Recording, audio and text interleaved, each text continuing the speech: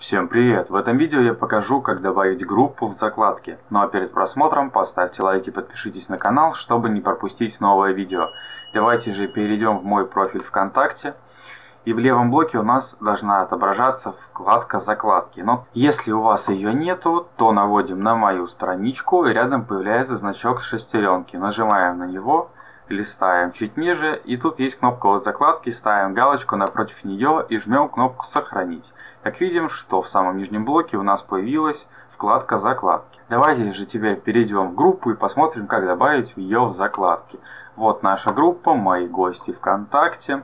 Итак, нам нужно добавить группу в закладки. Для этого в этом блоке вправо нажимаем кнопку в самом низу «Еще». У нас отобразилось еще несколько пунктов, один из них «Сохранить в закладке». Нажимаем, наша группа добавилась в закладки. Давайте же перейдем в закладки. Так, в правом блоке выберем сообщество. И как видим, что данное сообщество добавилось в наши закладки ВКонтакте. Ну а на этом все. Если информация была для вас полезна, напишите любой комментарий под этим видео.